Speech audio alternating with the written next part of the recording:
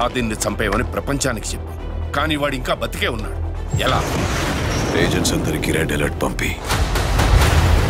మీరు అనుకుంటే చనిపోవడానికి నేను మనిషిని కాదు. సైతాన్ హో మే సైతాన్.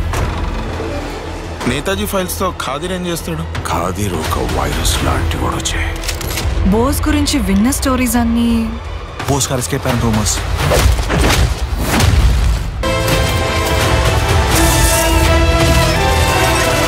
అన్ని చేదాటిపోతున్నప్పుడేగా మనం వేరే దాటి వెతుకుంటాం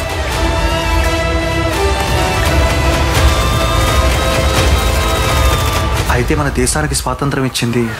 స్వాతంత్రం అంటే ఒకటి ఇచ్చేది కాదు. లాక్కునేది.